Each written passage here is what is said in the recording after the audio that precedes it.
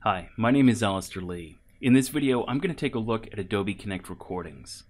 Adobe Connect recordings are associated with the meetings that you've used to create the recording. And so to view or distribute any of the recordings that you've made, the first step is to head over to the Meetings tab in Adobe Connect Central, and then click on the meeting room that you used to create the recording. Once you've got the meeting room, you'll notice a tab called Recordings, and I can click on that to view all of the different recordings that I've associated with this meeting room. Now, since Adobe Connect meeting rooms are persistent, you may have more than one recording associated with that meeting room. You can see in my case, for my personal meeting room, I've got literally pages of different recordings that I've created with this specific meeting room. Now, I can click on any one of these recordings to get more information. So let me just go ahead and click on the first one here. Um, and you'll notice right away I've got a URL for viewing. And this URL can be sent out to anybody so that they can view the recording. Now, by default, a meeting recording takes on the same permissions as the meeting itself. So anybody who's been invited to my meeting room will be able to view this recording. But if they're not on that invitee list, they may not be able to view it, depending on how my room settings are set up. So if I want to change that, if I want to make sure that everybody can view this recording, I can simply click on one or more of the different recordings I've got in my recordings folder, and then click on the Make Public button and that'll make sure that anybody with a link is able to view the recording. I can do the opposite if I want to make it private. I can click on the Make Private button, and any of the selected recordings will become private. Now, if you want even more granular permissions on a specific recording, you can actually do that by moving the recording to your content library. And that way you can manage it as you would any other piece of content in Adobe Connect, meaning that you can set the permissions for specific groups of people or specific individuals. I'm pretty happy with this recording that I've made public though. I'm going to click on the recording itself to see what else I can do with it. Now because I've made some edits to this recording in the past, I've got a button to view the original version of the recording. I can make an offline copy. This will create a video file on my desktop that I can then view when I'm not online. And I can edit the recording. And that's what I want to do right now is click on this edit recording button. That's going to open up the recording in my browser the same way it would for somebody viewing the recording.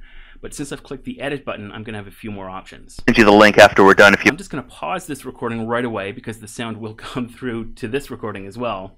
Uh, the first thing I do want to point out, though, is that these recordings, when viewed online, are still interactive. So I can still copy and paste text. Uh, I can even still play this rock, paper, scissors game that I had in my original meeting these controls are, are still all interactive. And that means if there was a file download pod, for example, later in this meeting, I'd still be able to download the files from that file download pod, even though I'm watching the recording. The other thing that you'll notice is to the left of my recording, there's an index that's been opened. And this index uh, shows me every single slide that was used in the presentation that was delivered during this original meeting. So Adobe Connect automatically indexes every time I changed the layout. So you can see here we've got the main index of screen share, Q&A, PowerPoint. These are the different layouts that I used in my original meeting. And then each of the different slides that I navigated to in the original meeting are also indexed. And this makes it very easy to search for something like mobile and find specifically the content related to that particular topic. And I can include in my index things like slide changes, the chat messages, even the camera. All of that gets completely tracked. If I want to close that index, I can use this little arrow on the left-hand side, and that'll show me a, a larger view of my recording. I'm going to open that index back up, though, because I do want to come back to it. Now we clicked on the edit recording button and that gives us not only the ability to view this recording but also to make some edits to it obviously. And I can edit this recording in a few different ways. First, I can actually chop sections out of the recording itself. If it took us a few minutes to get going, and I want to remove the first few minutes of the recording, I can simply use these little markers down in my timeline to identify the parts of the recording that I want to eliminate. Uh, I can scrub the play bar back and forth to see when we actually started the, the main content. This looks like a pretty good position right here. So I'm going to move the marker to my, my main content and then chop out that red section. Basically cuts it out of the recording. Now remember, I've always got the button to revert back to the original uh, recording. So this is not something that I'm permanently losing. This is just going to be cutting it out of the version that I distribute to anybody. And this doesn't have to be right at the start either. I can scrub right into the meeting. If we took a break and I want to cut that out, I can move the markers the in and out markers to the middle of the recording, for example, and chop out a section right in the middle. And maybe we took some questions at the end that I want to get rid of. I can do the same thing at any point in the meeting. I can go and eliminate sections of the recording that I don't want included in that final version. So you can see here, Adobe Connect keeps track of places that we've eliminated parts of the timeline by showing those as red. Once I hit the save button, those red marks will go away and we'll have a new version of the recording with a different time because we've actually cut parts out of it. I can not only edit the timeline though, I can actually start editing the content inside of the meeting itself. And that's uh, something that I can do through the settings button here on the bottom left hand side of the edit screen. I'm going to go ahead and click that.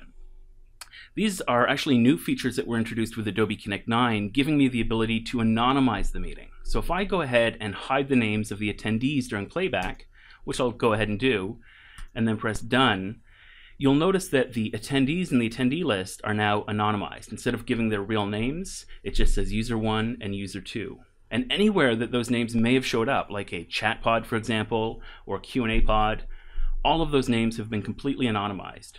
So we could still keep the chat and the Q&A, but have anonymous users rather than specific user identities. Now, because it doesn't make much sense for me to have an attendees pod inside of an anonymous recording, I'm going to go ahead and click on the settings button and choose to actually hide that pod altogether. I can hide the attendees pod, and in fact, there wasn't much chat. I'm going to hide the chat pod as well and click done and you'll see that those pods are completely removed from the recording themselves. They don't even show up. So we can not only anonymize those meeting recordings, but we can remove content from the recording itself.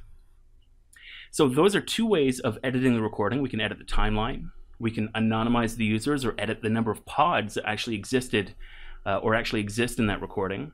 There is a third way to make edits, and that's by editing the index that was created. Now, I didn't have to create this index. This is something that Adobe Connect created for me automatically. Again, every time I moved from the one layout to another layout, it created an index entry here. And every time I moved from one slide to another, let me just get rid of my search term here, you'll see that it indexed every slide title that I uploaded to Adobe Connect. If we want to edit or even delete some of these entries, we can do so just by clicking on the uh, hammer and or screwdriver and spanner icon down here. And now when I click on one of these indexes, I've got the option to edit it. If I want to edit the name of this, this was actually my screen share layout, but I was using it to show my presentation. So I actually want to name this presentation and hit save. And you'll notice that that edits the index entry. So it makes a little more sense now for somebody viewing this recording. I can edit even these different slide entries. This is particularly handy if you use slides with massive graphics on and you didn't include a title on the PowerPoint slide at all. It'll just say untitled slide or slide 15. So now you can click on that, hit edit, and actually create your own chapter marker. You may have noticed another option there. As I clicked on one of these uh, individual slides, I've got the ability to add my own chapter markers. So if there was something else happening, um, or if I want to create a subset, as we move from presentation, we were actually talking about the competition in this section. So I want to create a brand new uh, chapter marker called competition.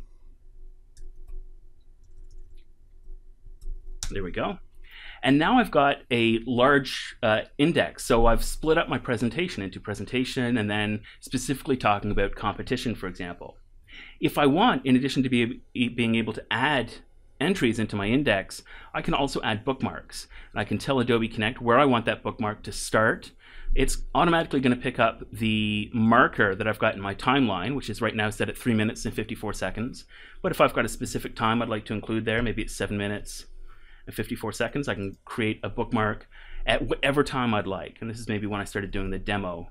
So I'm going to create a bookmark specifically to my demo. And you can see there's a new bookmark icon that's been entered into my index. Once I've finished making those edits, I can click on the wrench and screwdriver uh, and my index is now saved. I'm happy with this now. I've, I've, edited the timeline, I've edited the pods, and I've edited my index. I'm going to click on the save button, and this is going to save a new copy of the recording. If I've already sent out the URL for the, the recording before I made these edits, I don't have to worry. Somebody who clicks on that URL will now be brought to this new version. I don't have to send out a different URL. Adobe Connect now is done saving this. It's relaunching the meeting recording back in my edit mode. It'll have a new timeline with the sections that I cut out already removed. And it'll have a new index based on the changes I made when I was editing the recording. I'm going to go ahead and close that down before it starts uh, overlaying audio on top of this video. Uh, and hopefully you enjoyed this short video on Adobe Connect recordings. Thanks for your time.